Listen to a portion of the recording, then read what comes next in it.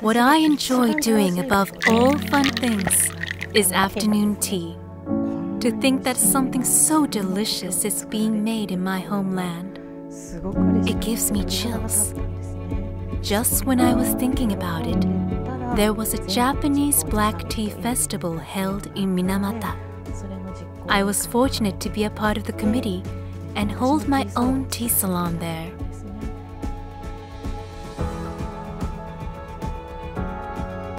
I set my afternoon tea.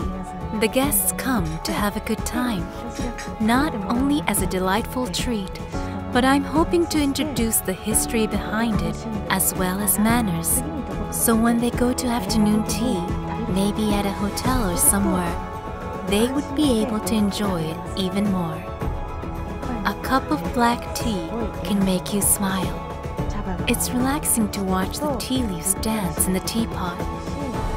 That's why I wanted to provide a cozy tea time experience, which led me to become a tea time coordinator. Finding joy in the moment. A cup of tea can really make a difference in someone's life. You can also drink it every day. It's great for your health. There's more than one way to enjoy tea.